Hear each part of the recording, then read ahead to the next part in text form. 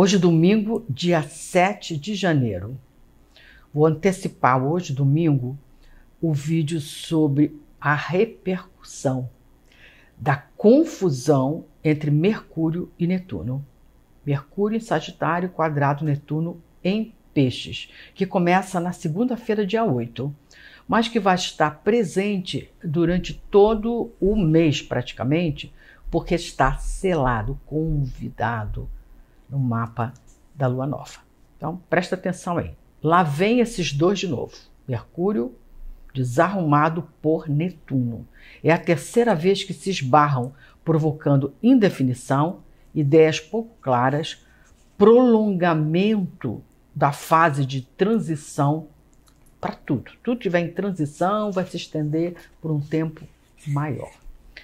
Difícil se raciocinar, se pensar de uma forma coerente, encadeada, precisa, definitiva. Assim que a gente começa a pensar sobre um assunto, as ideias se embaralham e as névoas penetram em nossas mentes. Acabamos não chegando a nenhuma conclusão ou desistindo, pondo o assunto de lado. Mal entendidos, esquecimento, ideias confusas ou mal expressas, diagnósticos imprecisos ou errados e não estou falando só de saúde, diagnósticos financeiros, diagnósticos de relacionamento, diagnósticos de negócio, por aí afora. Extravio de objetos e papéis são esses alguns dos efeitos desse ciclo. Como eu falei, que vai durar aí até a próxima lua nova de 9 de fevereiro.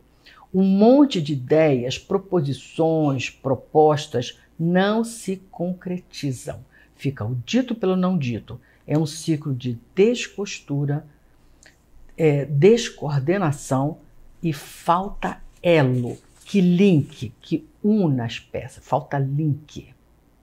Quando é assim, cautela com seus passos para não tropeçar e pior, para não tomar o caminho, a direção erradas.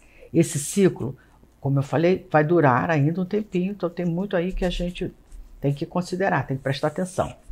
Até lá, pise em território conhecido, em trilhas que você percorra de olhos fechados, porque conhece a trilha de cor.